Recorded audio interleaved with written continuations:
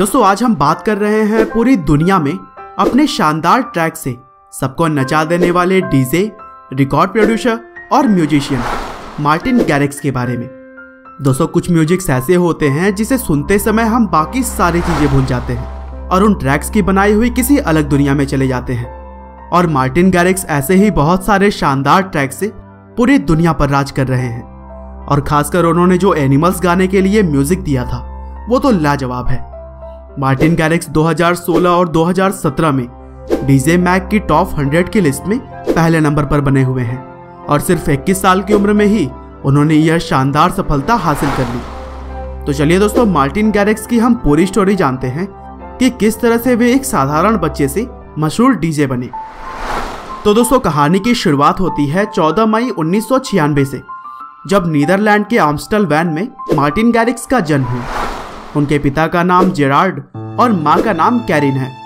इसके अलावा उनकी एक बहन भी है, जिनका नाम लॉरा है। मार्टिन को वैसे तो म्यूज़िक का शौक बचपन से ही था, और जब वो सिर्फ़ आठ साल के थे, तब उन्होंने गिटार बजाना भी सीख लिया। लेकिन डीजे बनने का शौक उनमें 2004 से आया, जब उन्होंने टियस्टो को एथेंस में हुए ओलंपिक गेम्स में परफॉर्म करते हुए देखा।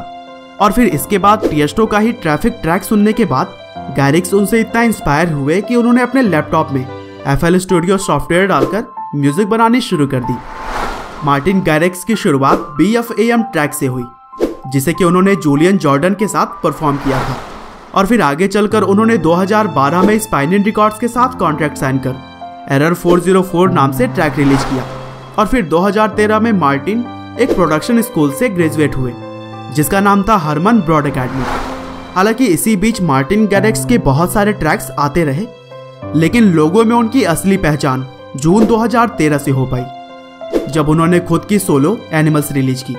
यह एल्बम यूरोप में बहुत बड़ी हिट साबित हुई और बीट पोर्ट के नंबर वन पर पहुँचने वाले मार्टिन गैरिक्स सबसे कम उम्र के आर्टिस्ट बने।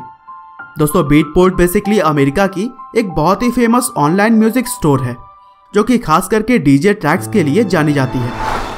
आगे चलकर 30 सितंबर 2013 को गैरेक्स ने प्रोजेक्ट टी का रिमिक्स रिलीज़ किया, जो कि अपने रिलीज़ के कुछ समय के अंदर ही बीट पोर्ट चार्ट के पहले नंबर पर फिर से छा गया, और लोगों ने भी इस ट्रैक की काफ़ी सराहना की। 2013 में मार्टिन को अपने शानदार काम के चलते कई सारे अवार्ड्स भी मिले, और डीजे मैगजीन्स के टॉप 100 की लिस्ट में उन्हें 2013 में 40वें नंबर पर और 2014 में चौथे नंबर पर जगह मिली।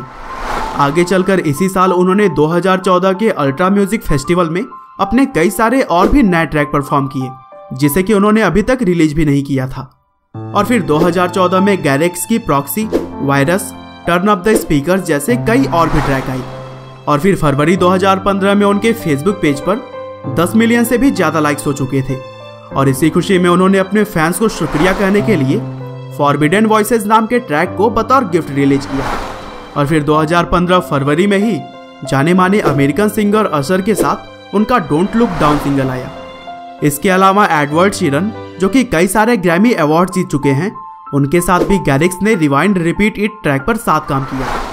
26 अगस्त 2015 को अपने म्यूज़िक ऑनरशिप की वजह से कई सारे विवादों के चलते गैरिक्स ने स्पाइनियन रिकॉर्ड्स को छोड़ दिया और फिर अपना खुद का रिकॉर्ड लेबल एस रिकॉर्ड्स बनाया। 26 जुलाई 2016 को मार्टिन गैरिक्स ने सोनी म्यूज़िक इंटरनेशनल के साथ वर्ल्ड वाइड कॉन्ट्रैक्ट साइन किया।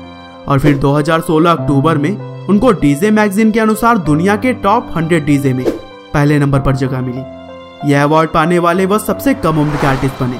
और फिर 2017 का साल भी मार्टिन के लिए बहुत ही ज़बरदस्त रहा।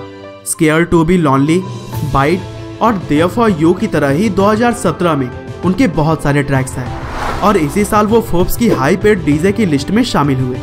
उनकी 12 महीने की कमाई 19.5 मिलियन डॉलर आकी गई। हालाँकि इस लिस्ट में पहले नंबर पर कैलविन हैरिस हैं, जिनकी सालाना कमाई करीब 46 मिलियन डॉलर है। साथ ही 2017 में भी डीजे मैगजीन्स के रैंकिंग में बिना बदलाव के मार्टिन गैरिक्स पहले नंबर पर बने हुए हैं। और इन सब के अलावा भी गैरिक्स दिल के बहुत ही अच्छे इंसान हैं। उन्होंने गरीब और बेसहाय लोगों के लिए बहुत सारे चैरिटी शो भी किए। 2016 के इंडिया टूर के दौरान उन्होंने मुंबई में एक शो किया था, और यह शो उन गरीब बच्चों की मदद के लिए था जो कि खुद की पढ़ाई का खर्च नहीं उठा सकते थे। और इस शो के ज़रिए जो भी पैसे कलेक्ट हुए थे उससे दस हज़ार बच्चों के एजुकेशन में मदद की गई थी। तो दोस्तों, ना केवल मार्टिन गैरिक्स के द्वारा बनाए गए ट्रैक्स लोगों के दिलों को छू जाते हैं, बल्कि उनके द्वारा किए गए मानवता की भलाई का काम भी उनकी मानसिकता को साफ़ साफ़ दिखाता है। उम्मीद है कि मार्टिन गैरिक्स की यह लाइफ स्टोरी आपको ज़रूर पसंद आई होगी। आपका बहुमूल्य समय देने के लिए बहुत बहुत धन्यवाद।